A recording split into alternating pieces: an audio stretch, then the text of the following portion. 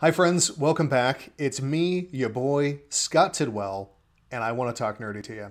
Today, I want to pick up where we left off, talking about my favorite Dungeons & Dragons campaign setting, Dark Sun. If you like what I've got to say, give me a like, hit that subscribe button, let me know in the comments below what you loved, what you thought was okay, and what you want me to talk about next. Okay, let's get into it. You may remember from our last video, we talked about the post-apocalyptic themes and dying earth themes in the Dark Sun campaign setting. Just a quick recap. In the ancient past of Dark Sun, there was an arcane apocalypse, a great cataclysm that destroyed most of the plant life in the world, transformed the sun into a red giant, turning the planet into a barren desert. After the world was nearly destroyed, the civilization that was left began a long and slow slide into decay and decadence. Scarcity is the order of the day. Water, metal, food, all of these things are in extremely short supply.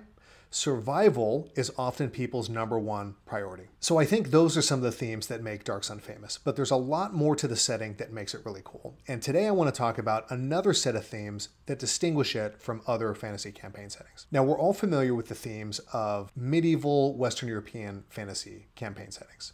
You've got kings and knights and princesses in distress and dragons and the whole feudal order and castles. Dungeons and Dragons was originally intended to be set in such a setting, and a lot of fantasy settings use these themes today. Of course, there are definitely exceptions. I'm looking at you, Legend of the Five Rings and Talislanta, just to name a couple that come to mind that break these tropes. Dark Sun does it in a very interesting way, a different way from those other games. Dark Sun takes a lot of inspiration from the ancient world, the Bronze Age and the early Iron Age. So we're talking ancient Rome, ancient Greece, ancient Egypt, and even my personal favorite, ancient Mesopotamia. So the topic of the video today is the way that these ancient themes enter into Dark Sun and the way that we can think of Dark Sun as an ancient campaign setting. One of the first things people notice about Dark Sun is that it's a primarily urban campaign setting. So in the medieval Western European setting, right, population density is very low, everybody's spread out, it's very rural,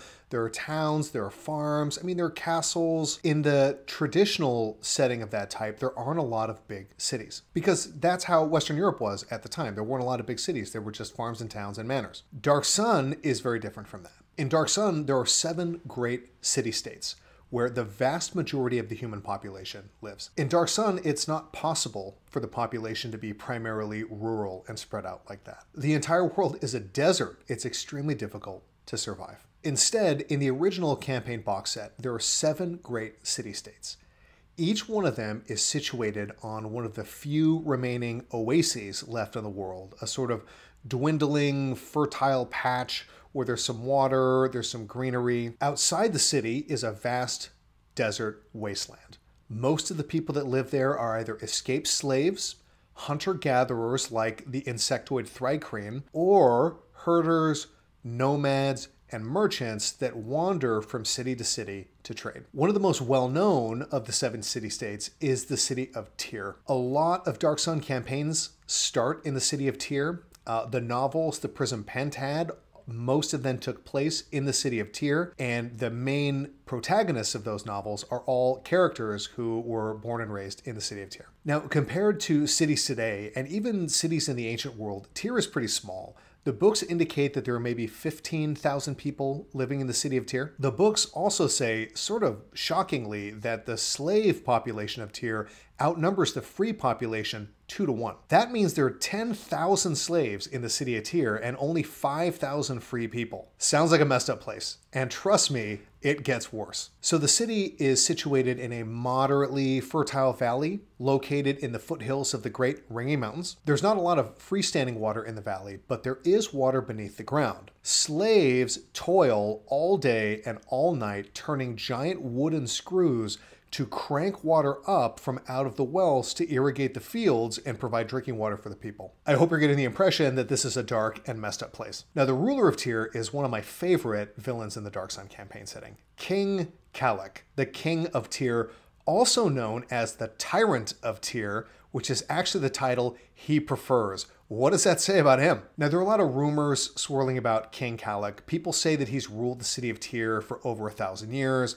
People say he's immortal. People say that he's one of the greatest sorcerers to live on the planet. One great thing about King Kalak is that he doesn't mess around about his right to rule. He doesn't claim to rule by divine right because some god gave him the right. He doesn't claim to be a god himself like some of the other sorcerer kings do. No, Kalak is very upfront about the fact that he rules Tyr because he is the most powerful sorcerer in Tyr and anyone that challenges his rule will be crushed. Now, even the most powerful sorcerer can't maintain order in a city of 15,000 people, 10,000 of whom are in bondage. Kalak relies on his minions.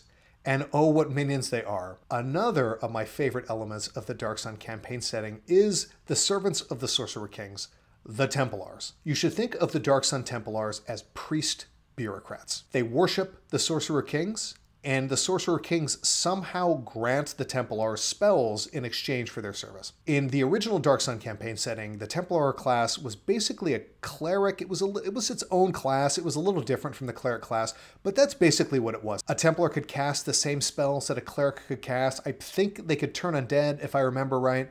They could wear armor and they could fight. They were basically kind of like a cleric, a sort of corrupt and evil cleric that worshiped the Sorcerer Kings. They're also bureaucrats. They are the judges, the administrators, and the rulers of the city states. The Templars have a monopoly on reading and writing. One of the most heinous crimes that a citizen of Tyr can commit is learning how to read and write. Because look, we all know knowledge is power, and the Templars jealously guard that power for themselves, and a few select nobles who are allowed to read and write as well. So no one can administer the law because no one can really know what the law is because they can't read it. No one can administer trade because they can't keep accounts and keep records and write contracts. Only the Templars can do these things you can imagine how powerful they are in a city like this. On top of that, the Templars have a monopoly on the use of legal magic. We talked last time about what wizards do to the environment when they cast spells, so you can imagine that most people hate them, and the Sorcerer Kings want to keep other wizards out of their city because those wizards might, you know, kill the plant life that the Sorcerer Kings need to cast their spells. Of course, there are other spellcasters, clerics, and druids, and I remember reading somewhere that technically casting divine magic like that is also illegal, but the Templars usually overlook it because the common people rely on clerics and druids for healings and divinations and things like that. So as long as the clerics and the druids kind of keep a low profile and don't challenge the Sorcerer King, the Templars basically leave them alone. The other thing to note about the Templars is that they're extremely evil and corrupt just like the Sorcerer Kings themselves. One of their main activities is seeking bribes from everybody they see and they meet. Oh, do you want a permit to open a shop in the city of Tyr? That's going to be a bribe. Oh, did you look at a Templar the wrong way? Okay, well, you're going to be sold into slavery unless there's a bribe. These people are awful. They're some of the worst villains in D&D. I remember in the original box set, the Templar class had this very cool sort of judgment legal power where they could accuse people of crime crimes. They could sell people into slavery. They could have people thrown in jail all of these sorts of things, and who you could accuse and who you could throw in jail depended on your level. So they had to be lower level than you. I think if they were a noble or an aristocrat, they had to be like way lower level than you. So Templar PCs had a lot of power in the city state and could just go around messing with people. Let's talk about real world antecedents and inspirations for this social structure found in Dark Sun. To my mind, this is a lot like what some historians have called a hydraulic despotism. Hydraulic as in water. I'm not a historian, and I'm not sure if historians today still think this idea of a hydraulic despotism is a good one or not.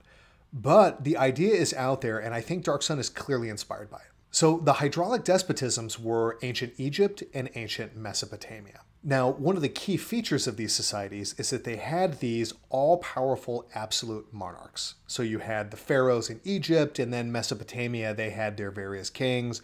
The Persians eventually had the shahs, the emperors. The idea behind hydraulic despotism is that these rulers gained their absolute power because organization and management was necessary to manage water resources in the ancient Middle East. So think about Egypt and ancient Mesopotamia for a second. Their agriculture was based entirely on irrigation with river water. So you had the Nile in ancient Egypt and you had the Tigris and Euphrates in ancient Mesopotamia. There's not really a lot of rain in these areas, so if you want water to irrigate your crops, you've got to get it from the rivers.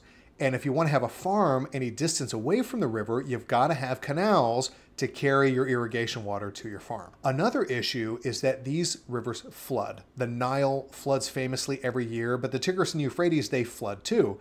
And if you're not careful and you've got a farm too close to the river or you've got a city too close to the river, it's going to flood and it's going to cause a lot of damage. So the ancient Mesopotamians and the ancient Egyptians dug a lot of irrigation ditches and irrigation canals, both to take water out to the farms and to control the flooding when it came. And these irrigation systems were very labor intensive and they were very big. It took a lot of people to coordinate and work together to build these things and maintain them. So, the hydraulic despotism theory goes the very first absolute kings, absolute monarchs, and bureaucracies arose from the necessity to manage these irrigation projects, to manage the city's water resources. And because they were so vital to everybody's survival, the people of these cities were willing to give a great deal of power to the kings and the bureaucrats that managed these water projects. It ends up, interestingly enough, especially in Mesopotamia, but I think in Egypt as well, that the bureaucrats and the administrators and managers that managed all of these things were actually priests. So it ends up that the center of these ancient economies was the temple. Farmers would grow their stuff, the priests would manage and oversee and administer everything. The farmers would bring their produce to the temples where they would deposit it with the priests. The priests would keep records, they would keep contracts. They would exchange small clay tokens for the produce that farmers deposited, and then the priests would redistribute all of this produce to the artists, to the other priests, to the aristocrats, and everybody else in the city. It's a sort of strange way to operate an economy, it seems to me, but all the evidence points to this being how it was in the ancient Near East. So I think you can see the connection to Dark Sun, right? You've got these great city states that are situated on some of the only remaining water resources in the world. There are these absolute monarchs that rule them absolutely through the offices of their priest bureaucrats that manage the whole situation. Now, there are some variations on this hydraulic despotism idea in Dark Sun. Let me mention just a couple of my favorites, or maybe just the ones that stand out to me because they are kind of a shout out to ancient Greece and Rome. So, the city of Tyr, classic hydraulic despotism, actually has a senate kind of like the Senate of Rome. Many of the most ancient and powerful noble families in the city have a hereditary seat in the Senate. The Senate in Tyr is completely powerless. It can discuss and it can talk, but it cannot pass any laws and it cannot do anything practical. It's said that anytime the senators try to do anything practical or speak out against the king, the Templars have them assassinated. Now, that's a little bit like the Senate in Rome operated after the fall of the Republic and the creation of the empire. The Caesars allowed the Senate to continue debating and doing its thing, but the Senate had no power, and sometimes the Caesars would assassinate senators that got